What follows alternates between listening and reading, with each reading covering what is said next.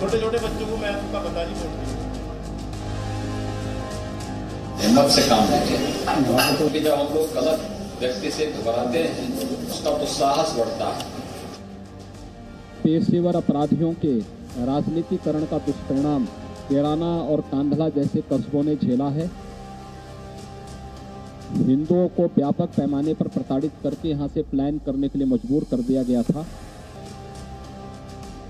अपराध और अपराधियों के प्रति ज़ीरो टॉल उत्तर प्रदेश विधानसभा चुनाव 2022 में अब कुछ ही दिन बचे हैं।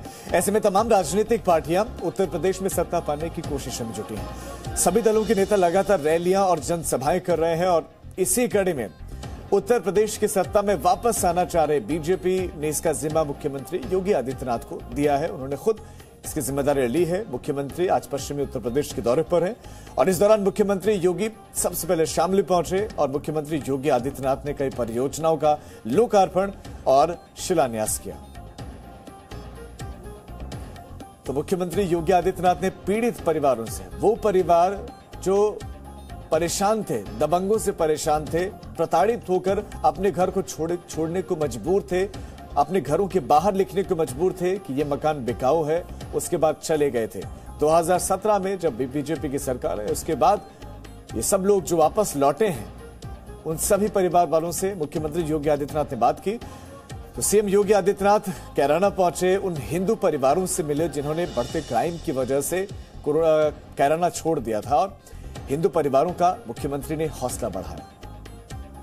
2017 में जब मैं यहाँ आया था, तब यहाँ के लोगों ने मांग की थी कि सुरक्षा की दृष्टि से यहाँ की चौकी के सुदृढ़ीकरण और यहाँ पर पीएसी एक बटालियन की स्थापना हो। चौकी के सुदृढ़ीकरण की कार्रवाई पहले ही हो चुकी थी और यहाँ पर पीएससी के एक बटालियन की स्थापना की कार्रवाई के लिए आज मैं स्वयं यहाँ पर आया हूँ। और कुछ उन परिवारों के साथ भी मैंने संवाद किया है, जो पिछली सरकारों के राजनीतिक अपराधीकरण के शिकार हुए थे। उसमें से ज़्यादातर परिवार वापस आ चुके हैं, उनमें एक विश्वास जगा है और हमारी सरकार ने इस बात के लिए यहाँ के हर एक परिवार को आश्वस्त किया है कि सरकार अपराध और अपराधियों के प्रति जिस ज़ीरो टॉलरेंस की नीति के तहत कार्य कर रही थी वह हमारी रणनीति निरंतर आगे भी चलेगी। पीड़ित परिवार से मिलने के बाद मुख्यमंत्री योगी आदित्यनाथ ने कहा कि पीड़ित हिंदू हैं तो उनसे मिलना गुनाह है क्या? 1990 के दशक के प्रारंभ में राजनीति के अपराधीकरण और पेशेवर अपराधियों के राजनीतिकरण का दुष्परिणाम। केराना और कांधला जैसे कस्बों ने झेला है। यहाँ पर हिंदू व्यापारी और अन्य हिंदुओं को व्यापक पैमाने पर प्रताड़ित करके यहाँ से प्लान करने के लिए मजबूर कर दिया गया था। देश के अंदर ये समाचार काफ़ी सुर्खियों में भी था। 2017 के बाद अपराध और अपराधियों के प्रति ज़ीरो टॉलरेंस की नीति के तहत सरकार ने जो कार्रवाई की थी, उसके परिणाम स्वरूप इस कस्बे में शांति आई। बहुत सारे परिवार वापस आए हैं। सीएम योगी आदित्यनाथ ने कैराना में वापस लौटे हिंदू परिवार वालों से मुलाकात की और उन्हें हर संभव मदद का भरोसा दिया। आप भी सुनिए मुख्यमंत्री योगी ने पीड़ित परिवार से क्या कहा। आप लोग भी अपना शुरू करिए यहाँ पे ठीक है? हाँ तो हिम्मत से काम लीजिए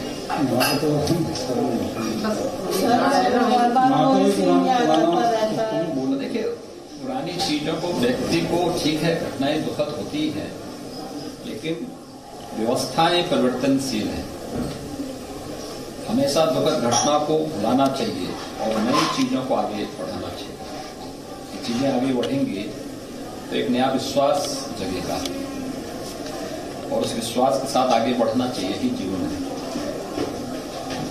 हम लोग जब उन चीज़ों को लेकर के ही करने का प्रयास करेंगे तो फिर नहीं हो पाता क्योंकि जब हम लोग गलत व्यक्ति से घबराते हैं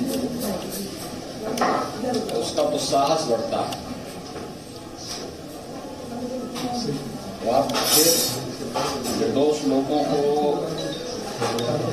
प्रताड़ित करने की मंशा के साथ तीन चीज़ें के साथ आगे बढ़ता है। जब उसका प्रतिरोध होता है तो उसकी हिम्मत नहीं होती, फिर वो कुछ कर सकता और हिम्मत से काम लेना चाहिए। और विशाल पांडे, जी मीडिया संवाददाता हमारे साथ हैं। विशाल, मुख्यमंत्री योगी आदित्यनाथ ने बहुत सारी बातें कही। आप प्रमुख बिंदु बताएँ ज़रूर कि क्या क्या मुख्यमंत्री ने किया और अब आगे के कार्यक्रम क्या? क्या आगे के कार्यक्रमों के लिए रवाना हो गए हैं सीएम? देखिए यूपी के मुख्यमंत्री योगी आदित्यनाथ ने कैराना में उन पीड़ित परिवारों से मुलाकात की जो कि पलायन का शिकार हुए थे 2016 में।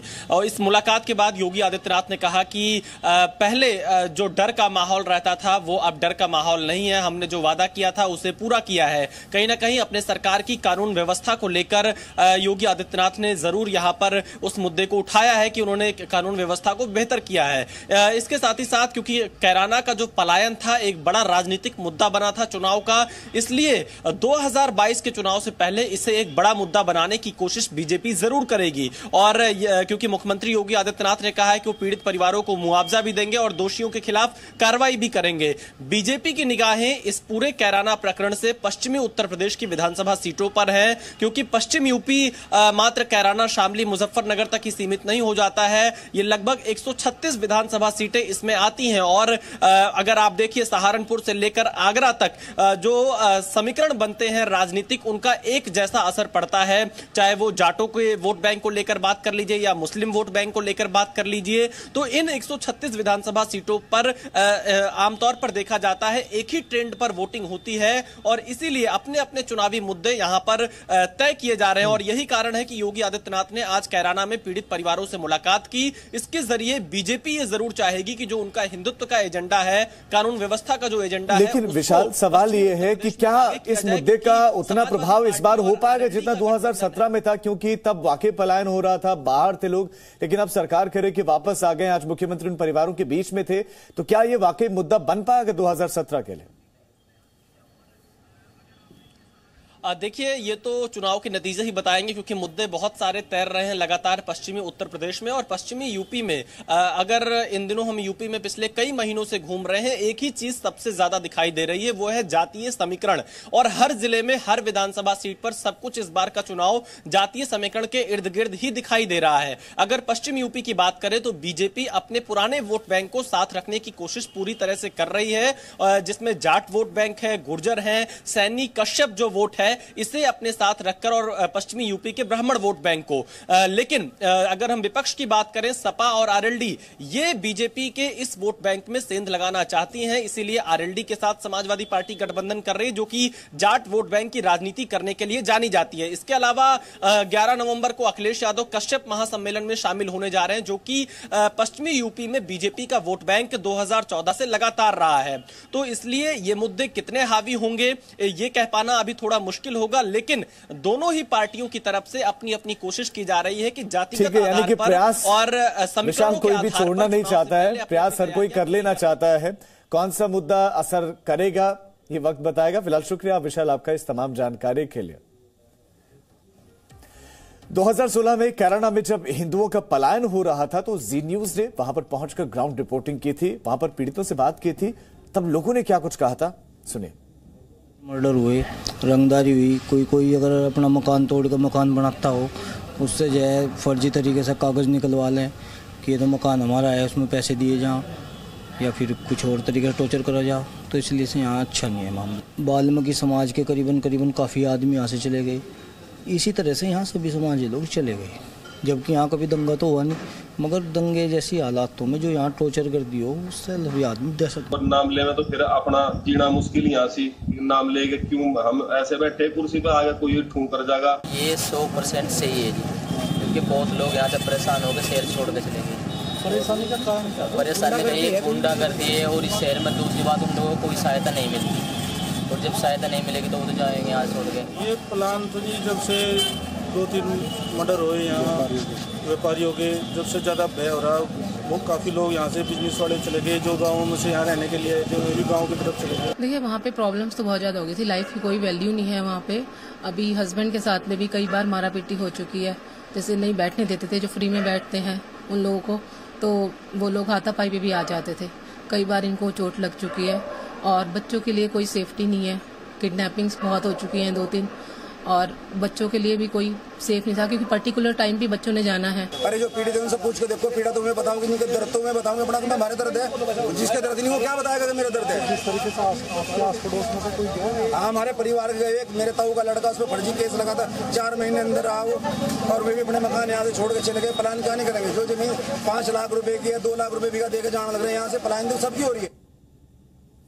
अब आपको बताते हैं कि कैराना है क्या और वहाँ पर हुआ क्या था। दरअसल साल 2016 में कैराना से हिंदुओं का पलायन हुआ था। ये क्यों हुआ था, ये अब आपको बताते हैं। तकरीबन तकरीबन 250 से ज़्यादा परिवार यहाँ से जाने को मजबूर थे, अपने घरों को छोड़ने को मजबूर थे। उन पर बताया जा रहा कि उनको, उन पर बड़ा अत्याचार हुआ। धमकाया गया उनको। एक विशेष वर्ग पर आरोप है धमकाने का। कई परिवार अपने घरों को खुले में छोड़कर ही भाग गए। बस जान बचा लेना चाहते थे। लोगों की ज़मीन, लोगों के मकान हड़पने के आरोप लगे। बीजेपी सांसद ने 346 परिवारों की सूची जारी की थी। बीजेपी सांसद हुकुम सिंह ने ये सूची जारी की थी और बीजेपी ने विशेष वर्ग पर अत्याचार का आरोप लगाया।